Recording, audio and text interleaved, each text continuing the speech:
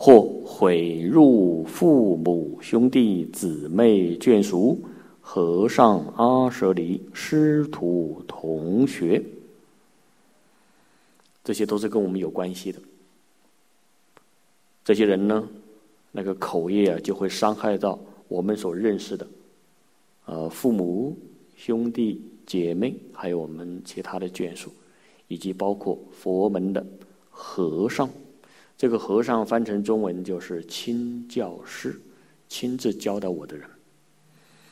甚至呢，他还要，呃，回谤这个我们的师傅，或者是我们的。同学等等，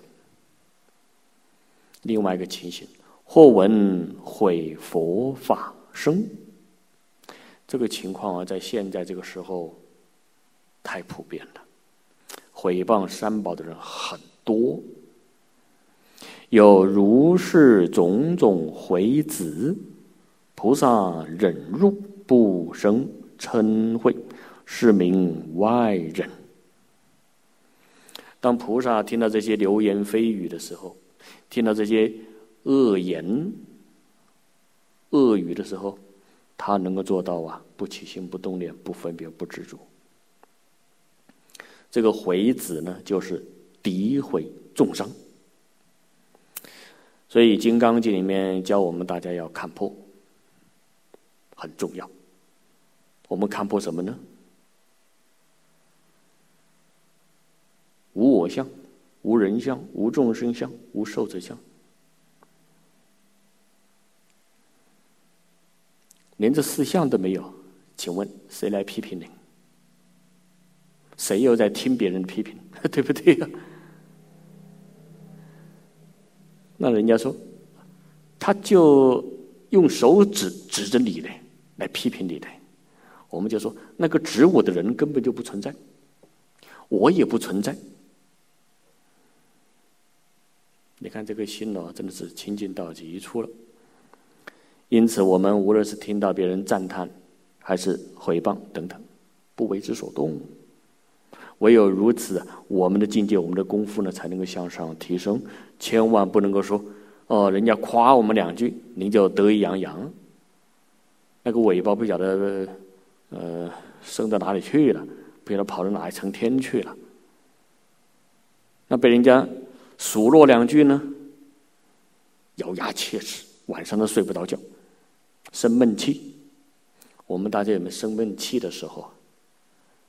恐怕不少吧。大家，呃，有有时候我们听别人讲啊，其实也有一点点道理。虽然说不是完全正确，哎，听听也是有一点点道理。他说什么呢？明天是大年初一哦，你可不能够骂我。啊。你骂我，今天你第一天都骂我，那我今年那那运好运都被你给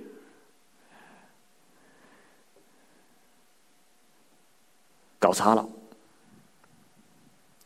在佛来说，大年初一是好日子，那请问其他的日子是不是好日子？都是的。时时是好时，事事是好事，人人是好人呐。你看这个心就怎么样呢？它就平了。所以有位大师讲的多好：“静缘无好丑，好丑起于心。”我们听到别人呢说我们不好听的话，那怎么旁边的人听到同样的话，他没什么感觉呢？他不把另外一个人说的话放在心上，我们放在心上，我们着相了，所以我们就。误以为真，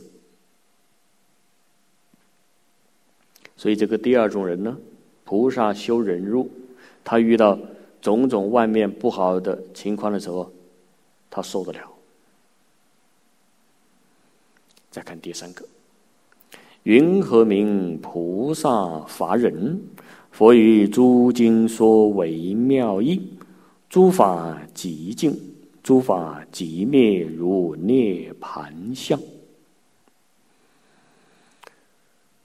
当菩萨听到这样的事实真相的时候呢，他们能够啊反映出不惊不怖的这个态度。的的确确啊，我们看大乘经典，有时候呢，里面讲的一些道理啊，特别深，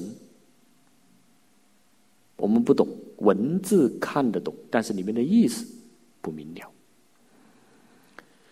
为什么我们不清楚呢？因为我们的心还不够清净，心还不够平等。等到哪一天呢，心静到极处，定到极处，这些诸法实相，自自然然就见到了。像弥勒菩萨所讲的一个真相：一弹指，三十二亿百千念，念念成形，形皆有实。人家都已经说出来了，这个情况就发生在当下。我们见到了没有呢？我们听到了没有呢？没有。我们没有见到、没有听到，不等于别人不知道。八地以上的菩萨就能够看到这一个生灭相。相似相续的假象，哎，他看到之后呢，晓得这个凡是有相，的的确确都是妄相，他们就能够保持呢内心不生不灭。那个涅盘就是指的不生不灭。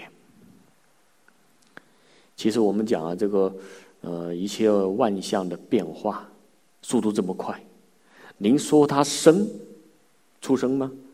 其实它当时就怎么样呢？它就灭了。啊，说它灭呢，它又很快的冒出来，几乎是同时。楞严经上讲的非常正确，当处出生，随处灭尽。像这些事实真相，佛在。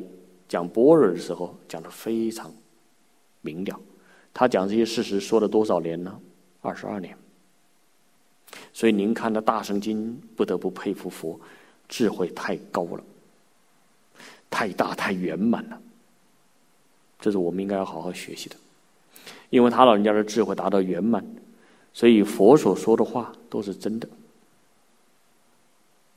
金刚经》里面评论诸佛如来。他们是真愚者、实愚者、如愚者、不妄愚者，还有不狂愚者。因此呢，能够相信呢佛在经上所说说的话的人，那是最有福报的人，也是最有智慧的人。所以多读般若部的经典呢，能够帮助我们放得下。